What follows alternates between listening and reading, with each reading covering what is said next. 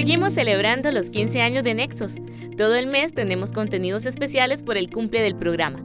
Para esta semana celebramos algunas organizaciones de personas con discapacidad con las que trabajamos durante estos años y que se han apuntado a luchar por la inclusión.